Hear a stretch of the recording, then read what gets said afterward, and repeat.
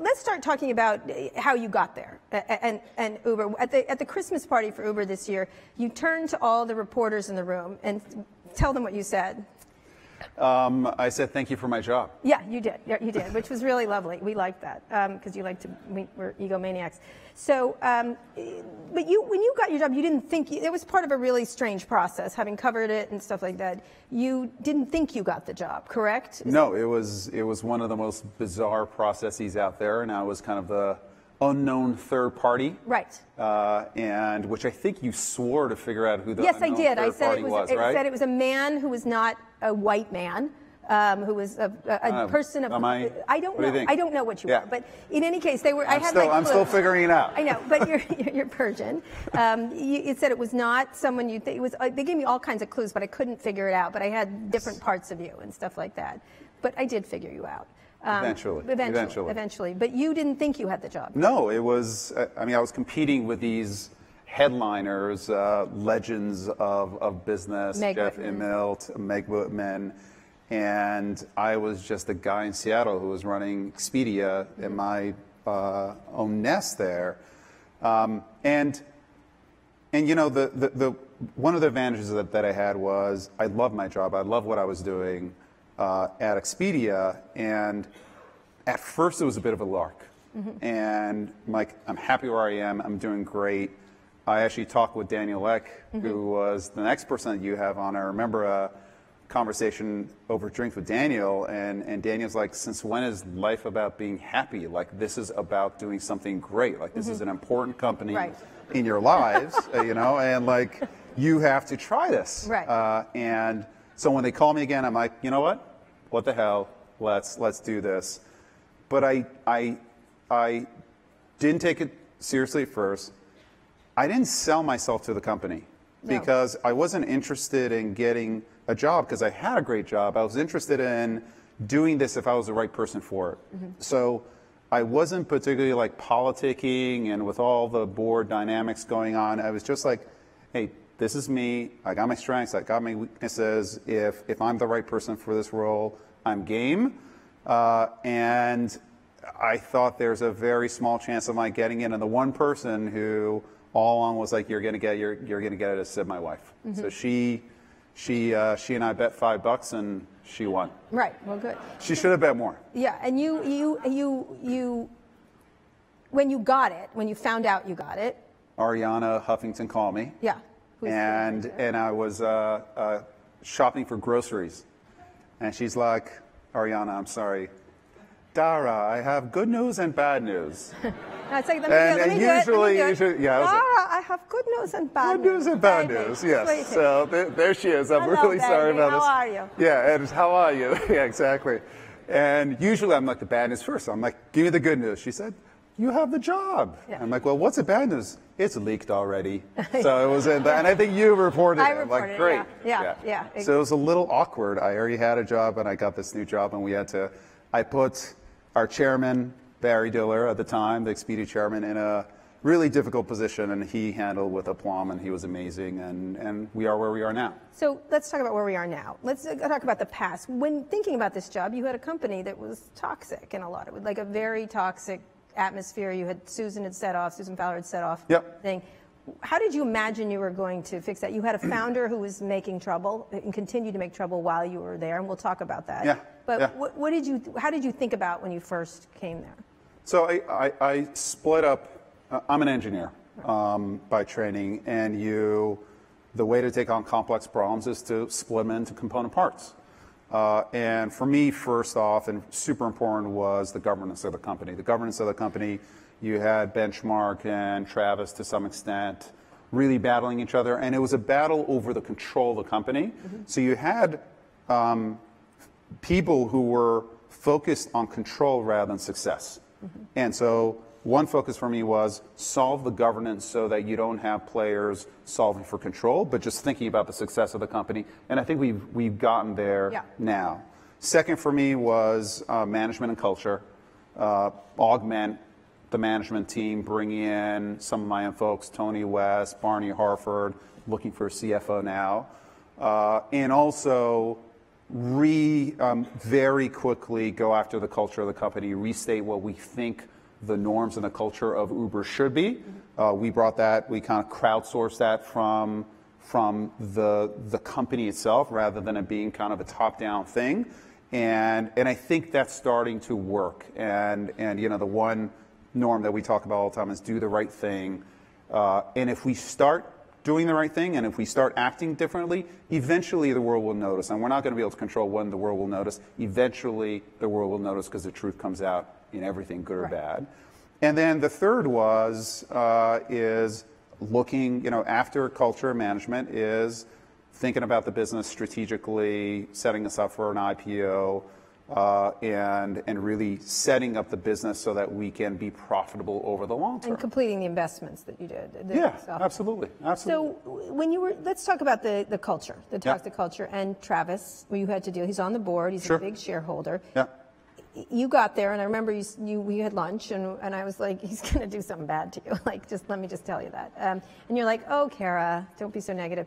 And I was like, I'm going to be. I'm going to. I'm right. Um, and so one of the things Is this the part where you say that? I told right? you so. No, but Yeah. I think you didn't. You you did you understand? Because I think you came. I was like, you're an adult. You didn't come from this culture. Did you? Did you feel like you? Han- how did you? Han- how did you go into that? Because here's someone who was a hard driving, great success, Huge um, success. huge yeah. success, but the methodology was flawed, deeply flawed. Sure. Listen, it's it's. But how did you every, think about dealing with that? I, my focus is on making the company succeed. I don't want to get into me versus someone else. If I'm completely pure about the success of the company and don't think about politics, et cetera, um, the rest I believe will take care of itself. And it's a little bit of this, you know, innocent outlook on life, but it's like it's worked for me. Right. So uh, you got to play to your initially, strengths. initially, he then kicked your shins with the with the board members. So, the- so, so, so he did, but they're like two great board members. Right. You know, like Ursula and John are great board members. I didn't like how it happened, Right. but instead of like focusing on how it happened, and, and the fact is, Travis has a right to, you know, a, a, a, a governmental right to bring on those two board members. Instead focus on that, well, they're actually two great board members. Mm-hmm. So let me get to know them, and I've gotten to know them, and let me use them to help me uh, build a company that is successful, but is also successful in the right way. And if I focus on that, the rest will take care of So itself. how did you? What is your relationship with him now? Because the the founder relationship is important. I mean, obviously, it's it's highly valued in Silicon Valley, probably too, too valued in some ways. Sometimes. sometimes. Yes, sometimes, sometimes not. I mean, every every situation is different. Listen, the the I think that the founder relationship is complicated, and also, frankly, the former CEO relationship is complicated. Um, I'm a former CEO of Expedia. I'm still on the board. Uh, Mark Okerstrom has taken over for me. My job is to get the hell out of the way. You know, and and Mark has to make his mark on that company. Mark has to make his mark, and which means he's the new CEO. He's going to do things differently, and in doing things differently, definitionally, it's like doing things differently from my choices. So I can't get too personal or offended about that. And I think with Travis, you know, early on, I was like, listen, I'm going to need my space, and uh, he did respect that. And once we got rid of the control, the struggle for control, et cetera, my focus is on taking the company forward. And now he's kind of found his thing and he can be an entrepreneur and he can build something. So he's a board member. And just as I informed the entire board, I inform him and we have construct, constructive dialogues. But also, I am taking the company in a different direction. And I think he respects that. And I think ultimately, you know, whether the direction is the right one or the wrong you one will be. a lot? What's that? You consult with him a lot? Not a lot, um, but it's I consult with I consult with him the way that I consult with the board, Um, and it is a different direction that we're going in in terms of culture. The strategy for us is now broadened in terms of mobility, et cetera. I did bring in a big partner in SoftBank, and I'm very happy about that. So, uh, you know, do I consult with them? I consult with them just like I consult with the rest of the board. Okay, let's talk about what you've been doing. Now, besides your delightful I'm sorry video, which is lovely. I- I- Delightful, I like it. Not really, I can't Yeah, thank you. That's what I. Yeah. you know. Was that was that irony? I've never. No, I just hate them. Um, so, explain I- why you're doing that, because I see why you're doing it. Yeah. You know, Well, we're doing it because um, it was very important for. We thought that the that our consumers and our target base to know that this is a new Uber and we're turning over a new leaf. Um, I'm really looking forward to get the heck off TV very, very quickly.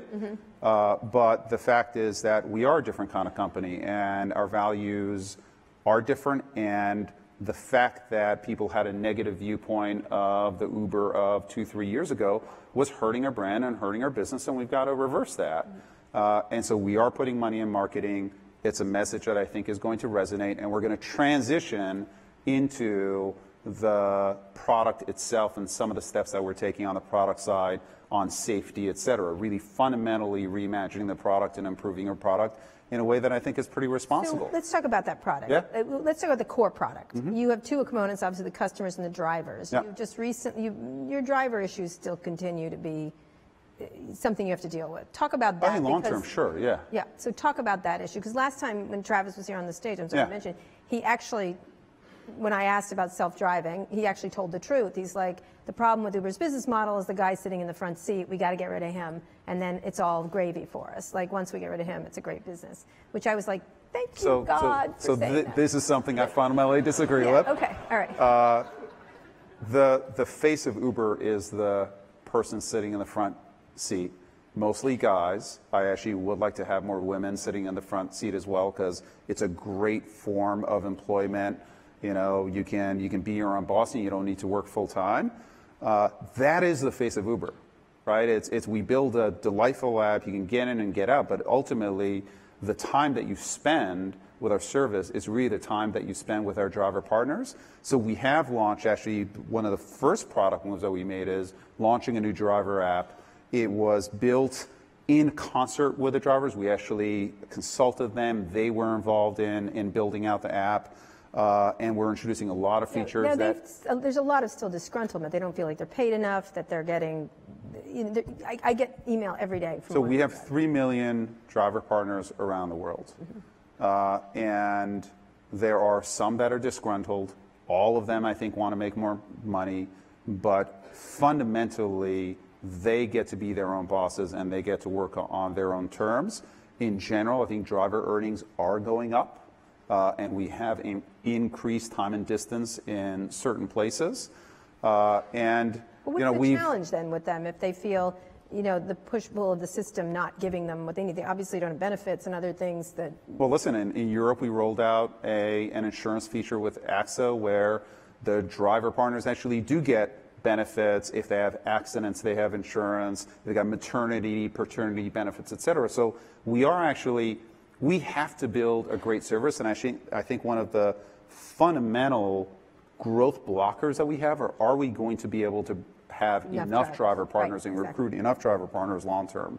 So one is we're working on the product very, very actively.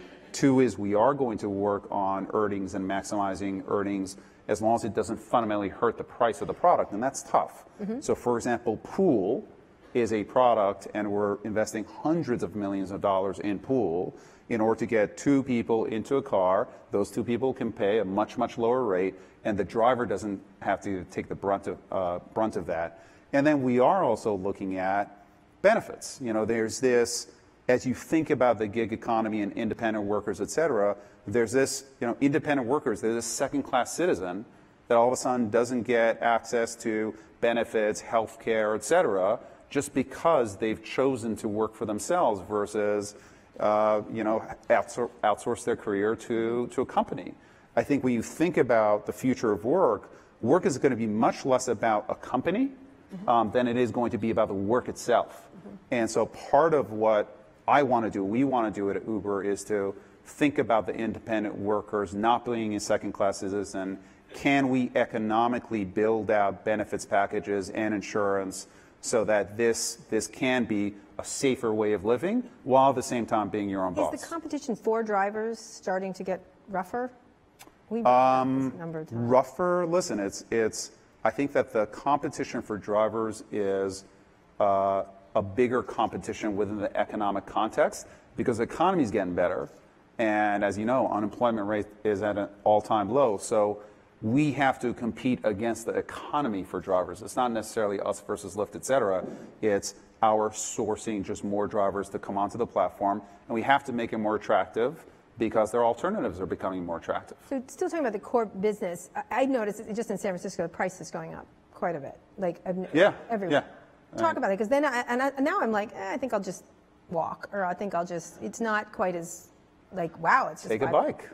No, So- I'm not taking one of those scooters. or Those things are not scooters, e-bikes. I'm not they're, taking they're any of awesome. those things. So I do think time, time and distance has, has come up. Right. Which one did you just buy? You bought one of those bike things. Um, Uh, we bought Jump, Jump, which right. are which are Yes. e-bikes. Yeah. And a very very important push for us is to innovate to lower costs. In other words, not just take the rates down in order to lower costs, but actually use innovation to lower the cost of getting from point A to B. And examples of that are Pool again, Mm-hmm. and we've exp- we have uh, launched a new product which is called Express Pool, where you meet um, at a certain point. you meet at a certain point, you may wait, so you may walk a, a block or two, and you may get dropped off a block or two from where you're going. It allows us to match much, much more efficiently and allows the, the ride to take less turns. Right. So the ride itself becomes much more efficient. And then we are thinking about alternative forms of transport. If you look at Jump, Jump. the average uh, length of a trip at Jump is 2.6 miles. That is 30 to 40 percent of our trips in San Francisco are 2.6 miles or less. Uh, Jump is much, much cheaper than taking an Uber X.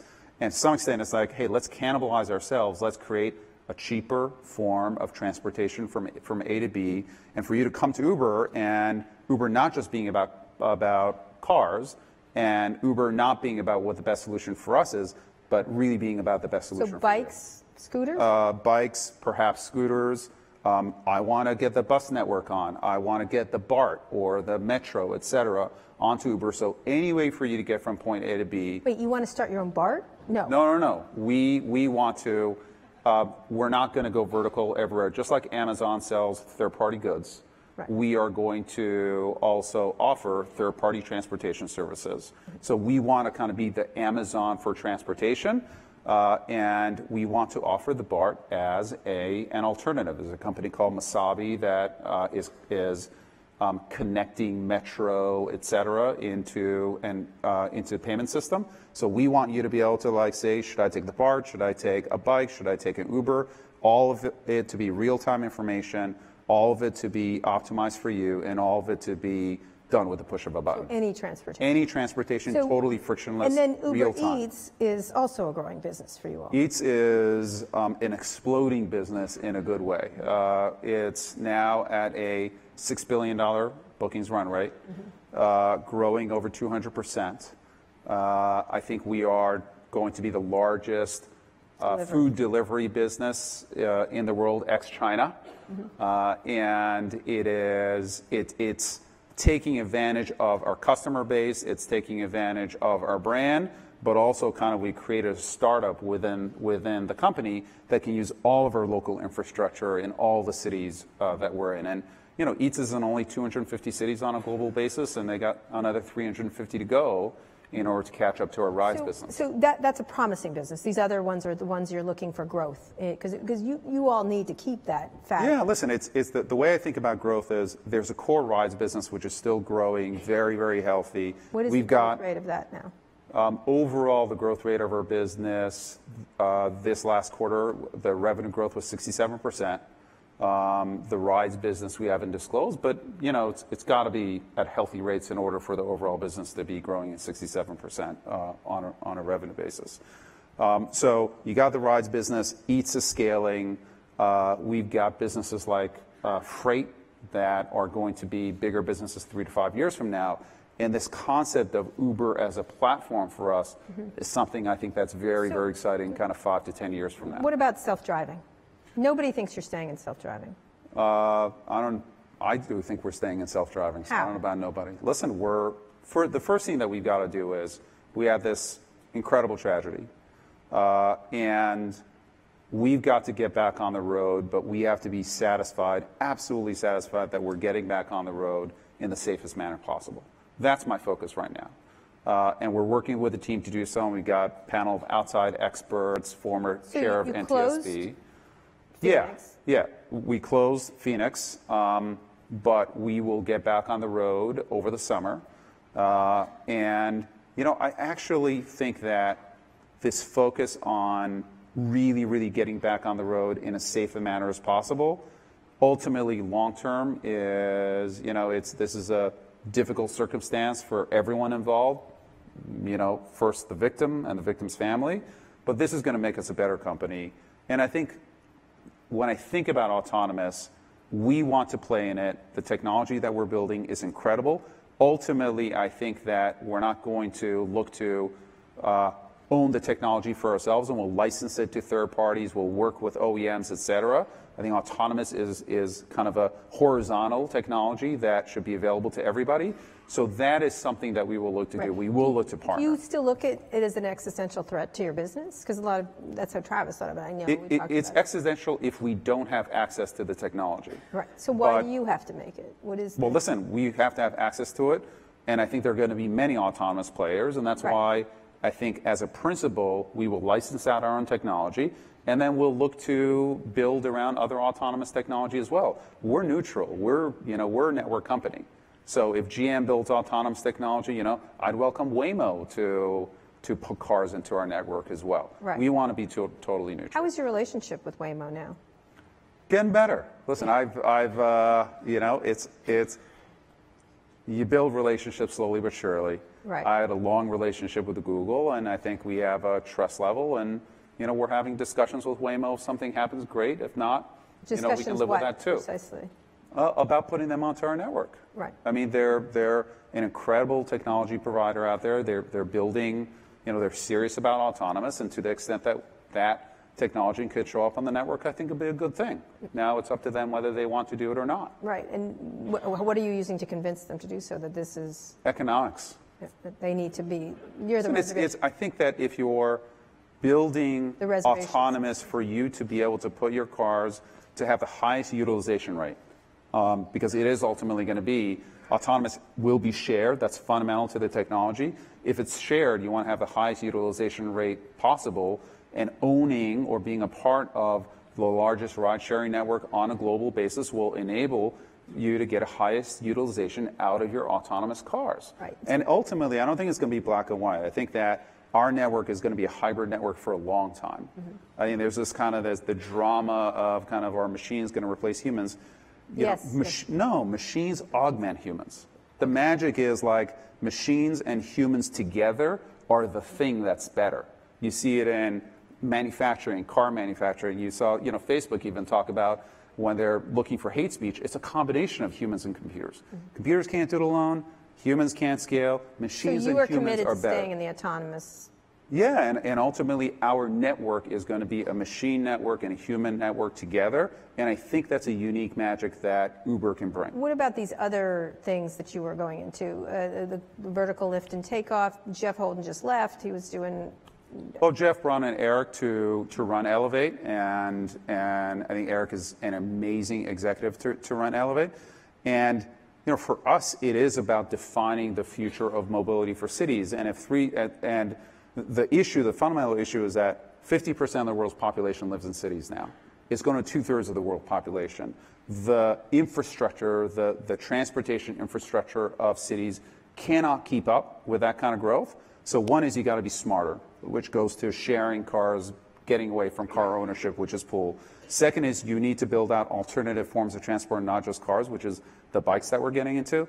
And the third is just like residential has gone three dimensional, skyscrapers and commercial has gone three dimensions, you're going to have to build a third dimension in terms of transportation. And Elevate for us is the third dimension that we're taking a big bet on, but it's a long term bet, and we're doing it with a number of partners out there. all right, last couple questions, and then we'll get to the audience. Um, so, SoftBank, a lot of people feel that you're just going to carve up the world, that, that with, that you, that you did, you're getting rid of, you got rid of China, that you'll do that in other markets. Do you see we that so we we sold in Southeast Asia. Right. Um, we are in a position to win in every market that we're in. Uh, and part of the reason why we sold in Southeast Asia is one, we believe in Grab and Anthony, who runs that business, but we wanted to have enough dry powder to win everywhere we're in. So and I think in we're in India, that position. you India, gonna do the same India. Middle East, uh, Africa, et cetera, we are going to be, I believe, the winning player in those markets, and we're going to control our own destiny. Because in a lot of ways, uh, uh, the investment Yahoo made in China was what made it. Like, and right now you're. I'm hoping that won't be the path to my success. Right. All right, last question. When are you going public?